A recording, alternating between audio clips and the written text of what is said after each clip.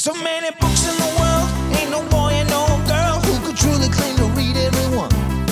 So we told them to sit, gave them 10 minutes to figure out the plots before the time is done.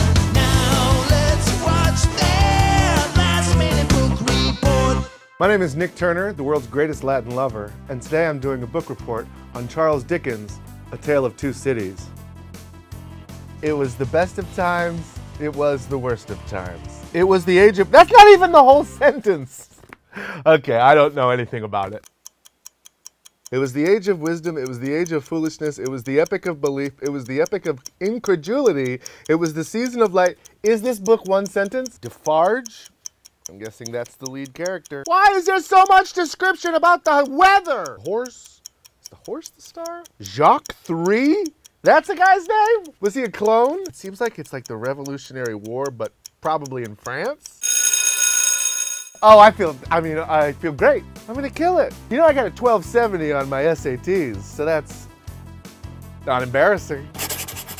I believe it's a love story uh, set amidst uh, the French Revolution. It's fighting, there's troops trying to, um, quarter, trying to be quartered. The two cities are Paris and London. I believe Charles Dickens was from England, so he like he often wrote about his homeland. The name of the horse was Jacques III. Jacques III was the son of Jacques II, uh, who had disowned him, and uh, that's why Jacques III eventually died of sadness. They didn't do an autopsy because it's a horse and it didn't really matter. Sydney Carton would describe himself as uh, very enigmatic. Uh, hard to get a read on that guy. Everyone else would call him a narcissist. He would just call himself good looking.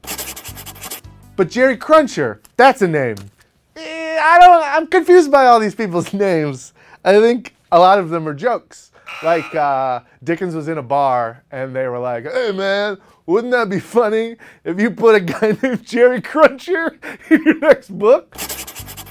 The spilled wine obviously symbolizes blood, and I think that's a little too easy for Dickens. When the wine is spilled, that means it's on. The French Revolution is on. Charles Darnay's secret is that he's actually related to Charles Dickens by first name. That's actually how he got in the book, because uh, he isn't that interesting of a character. At the end of the book, most of the people are dead, except for some of the main characters, and they merge the two cities for a while, but they realize there's too much distance between the cities and they can't really function using the same government. I would recommend this book to anyone who loves books that are way too long.